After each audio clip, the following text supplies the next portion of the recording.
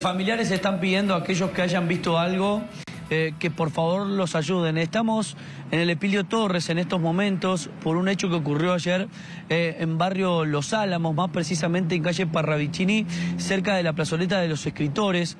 Eh, cerca de las 10 de la noche aproximadamente, dos jóvenes de 17 años que viajaban en bicicleta hacia el domicilio de uno de ellos fueron abordados por una motocicleta donde le pedían sus pertenencias, entre ellos la propia bicicleta que llevaban a Tomás, le dispararon a la altura del abdomen y hoy se encuentra internado eh, en gravedad. Estamos con eh, una de sus tías, su tía del corazón, estamos con Miriam. Eh, Miriam, ¿qué, sucedió anoche? ¿Cómo te va? hola, ¿cómo les va? sí, Tomás venía con, con mi hijo. O sea, primero Tomás venía un poco más adelantado. Y bueno, cuando mi hijo lo alcanza, venía el delincuente, venía caminando, ¿no? Venía, ¿Caminando? Sí, venían caminando. Sí, y bueno, le quiere sacar la bicicleta a Tomás, Tomás gira para que no se le quite y justo se acerca a mi hijo, cuando él saca el revólver, le tira a mi hijo y gatilla en el suelo y a Tomás le, le gatilla porque Tomás le tira la mano como para pegarle que no le quite la bicicleta y le pega a Tomás en, en el estómago y corre. O sea, mi hijo corrió a buscar a la mamá porque viven ahí cerca y este delincuente lo corrió mi hijo, fueron por la plaza, por un pasillo y bueno, necesitamos eso, que si alguien ve algo, vio algo, una cámara, algo, lo mínimo para que nos ayude porque Tomás está, está en grave estado. A ver, este disparo le, complica varios órganos, ¿no? Eh, sí, la bala eh, le, como que hizo un, sí, adentro los órganos, le perforó el páncreas, eh, parte del hígado, las dos paredes del estómago, el pulmón, está con respirador y todo eso.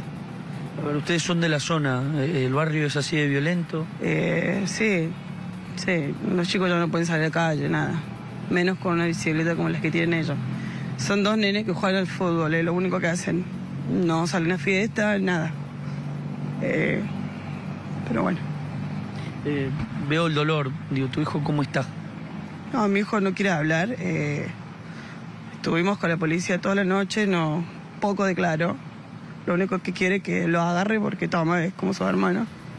Viven juntos todo el tiempo, van a juegan en un club de fútbol, los dos juntos, la misma categoría, son amigos de así, de chiquititos, se conocen y bueno, amigos de la familia y todo.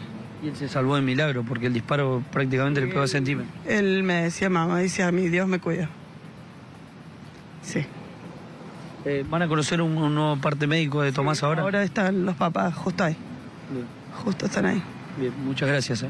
No, gracias a usted. Le, agradecemos eh, a Miriam y bueno, el dolor obviamente de, estas familias después del hecho ocurrido eh, cerca de las 10 de la noche del día de ayer en Barrio Los Álamos y obviamente otra familia que eh, está pidiendo si alguien vio, si hay algún testigo ocular o que tenga cámaras en la zona para tratar de saber qué sucedió y quién fue el autor de este hecho material. Adelante ustedes.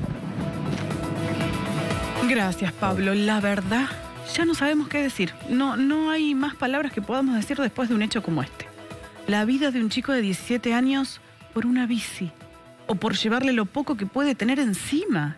¿Qué, qué podemos decir a una familia que está esperando un parte médico para saber si su hijo va a vivir o no va a vivir, si su sobrino va a vivir o no va a vivir por una bici. Sí, y que están esperando que algún testigo, algún vecino con cámara, eh, alguien aporte algo para saber qué es lo que pasó, cómo sucedió, porque también ahí eh, van a tomar esos datos, esos documentos para poder seguir con una investigación. No es desesperante lo que está pasando con la inseguridad. Venimos de todo el verano, está terminando febrero y sigue siendo el tema central en los reclamos sobre todo esto que vos decías, el valor de la vida del otro. O sea, eh, por un celular, por una cartera, por una moto, por una bicicleta eh, y las armas. Las 14% era, Roberto, lo que había aumentado el delito en Córdoba. Sí, ¿Estará esto dentro del 14%?